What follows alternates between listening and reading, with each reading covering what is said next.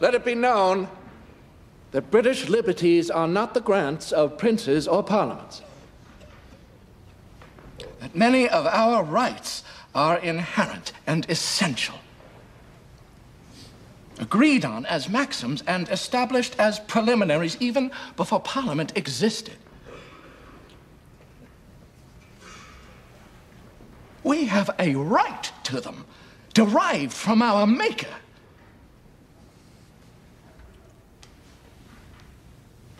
Our forefathers have earned and bought liberty for us at the expense of their ease, their estates, their pleasures, and their blood.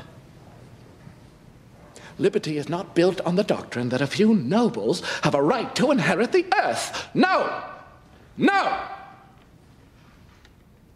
It stands on this principle that the meanest and lowest of the people are, by the unalterable, indefeasible laws of God and nature, as well entitled to the benefit of the air to breathe, light to see, food to eat, and clothes to wear as the nobles or the king.